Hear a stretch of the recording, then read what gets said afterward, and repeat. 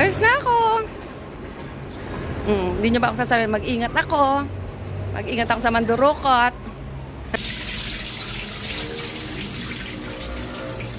Ang ang kanin namin, brown rice, oh, brown rice. So, best hindi siya nihabang naman.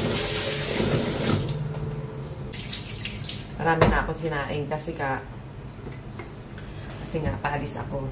Nilakad ako. Ang kabuhayan showcase. Tapos ngayon, sasamahan ko siya ng, actually pag nagsasayin kami, sinasama namin ng corn. Corn. Yan o. Sinasama ko pati yung ah, ano niya, sabaw. Tapos brown rice to. Itong, itong sinasayin ko hanggang gabi na to. At baka makita. Hanggang gabi na to. Kasi nga, dalawa estudyante ko. Para pag uwi nila, meron na silang kanin. Tapos mag mag-iinit na lang ng ulam. Kasi may ulam na ako niluto. May lakad din ako ngayon. Kailangan natin maghanap buhay. Yan, sakto.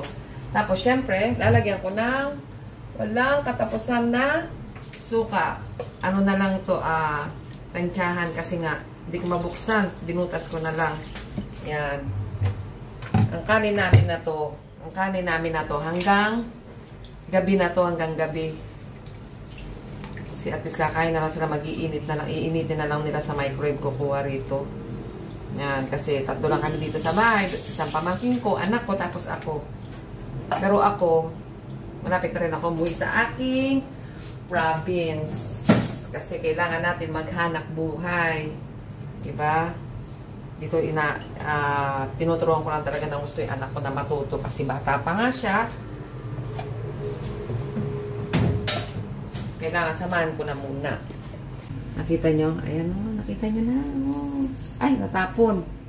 Ala. Tapon.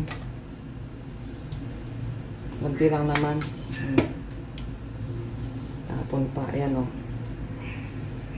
Tapos, pag kumukulo na siya, pag kumukulo na to, uh, ang gagawin ko, ang gagawin ko, haluin ko siya para yung mais mahalo. Okay? At least kahit toyo lang or pritong itlog ang ulamin nila, okay na malasa na ang kanin. Brown rice ang gamit namin. Kasi syempre ayoko rin tumaba yung anak ko dahil malakas sa kanin.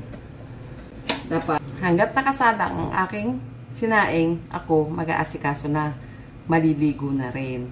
Lipang aking susuotin.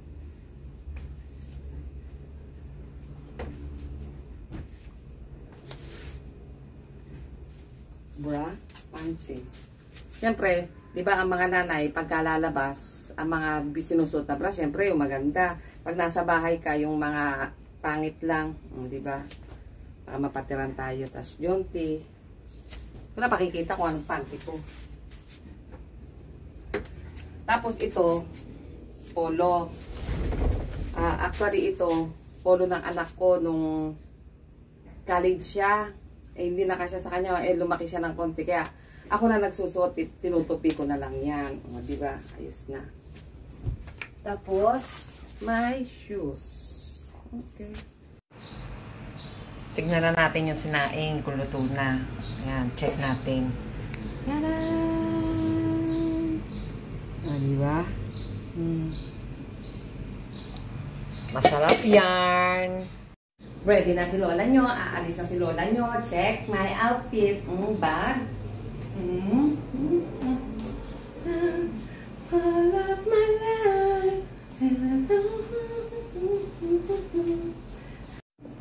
Bye, bye. Alis na si lola nyo. Mm. Babu.